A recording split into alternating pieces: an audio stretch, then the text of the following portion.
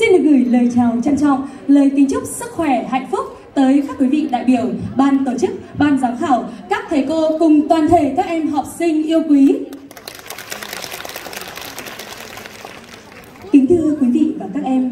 Ngày Nhà giáo Việt Nam 20 tháng 11 là ngày mà toàn thể người dân Việt Nam hướng về các thầy, cô, những người đã và đang khai mở con đường tương lai cho lớp lớp học trò,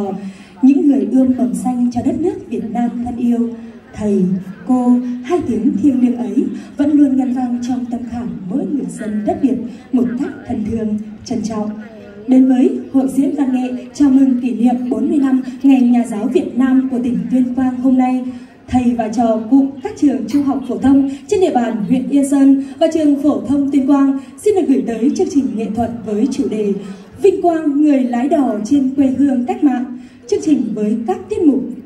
Việt Bắc nhớ Bác Hồ, sáng tác Phạm Tuyên, biểu diễn tốt nam nữ. Tự hào quê hương ta, sáng tác Xuân Tùng, biểu diễn Ngọc Thiết, Hồng Vân. Múa, tiếng chuông rừng, âm nhạc Vương Bình, biểu diễn tốt múa nữ.